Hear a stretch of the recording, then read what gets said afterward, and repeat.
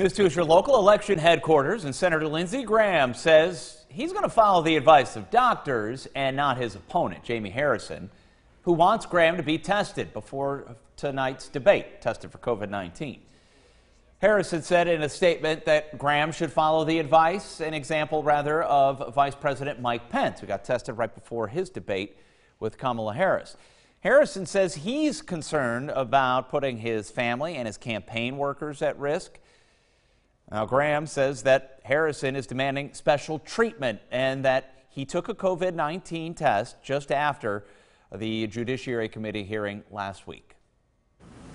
The Graham Harrison debate airs right here on News 2. News 2's Danielle Hensley is live at Charleston County Elections headquarters for us this morning. And Danielle, this is the second debate for the Senate race here in South Carolina. Octavia, we can expect both candidates to address national issues like COVID-19, but they're also going to talk about local and state issues. News 2's Carolyn Murray will be a panelist for tonight's debate that is airing right here on News 2.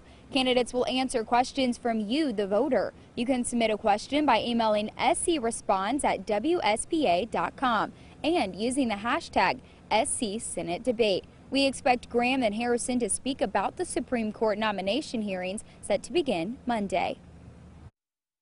You made a promise to the American people, and even more, you made a promise to the folks in South Carolina that you wouldn't be doing what you're doing right now. Miss Barrett's going to get confirmed because the president has the constitutional authority to do it.